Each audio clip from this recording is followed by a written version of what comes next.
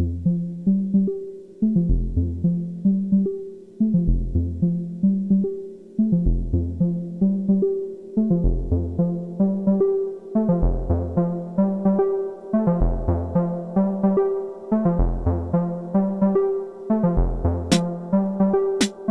really like the raw sound of the System 8. It definitely has a nice, basic, raw analog tone to it.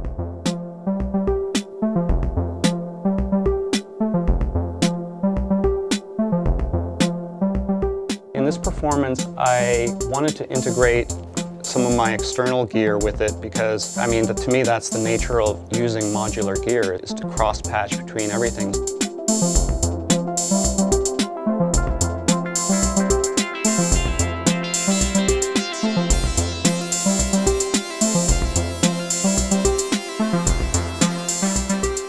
And I really liked having the modular stuff you know, built right into the back. It really encouraged me to try running the sound from the System 8 into the modules for additional processing. The combination of the two I found really interesting.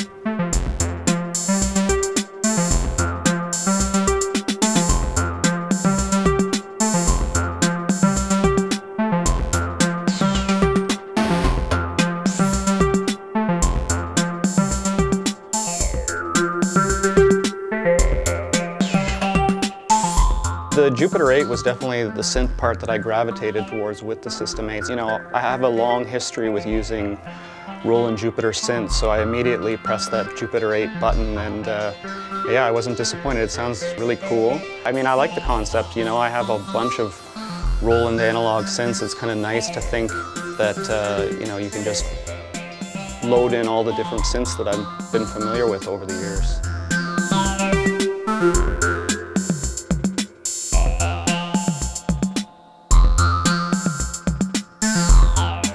Was using the built-in sequencer on the System 8, which was really nice. Yeah, I really liked experimenting with that thing and I found it very instant to figure out. I mean, I, I know with a lot of sort of built-in sequencers, they're sort of complicated. This thing, I just figured it out in a second.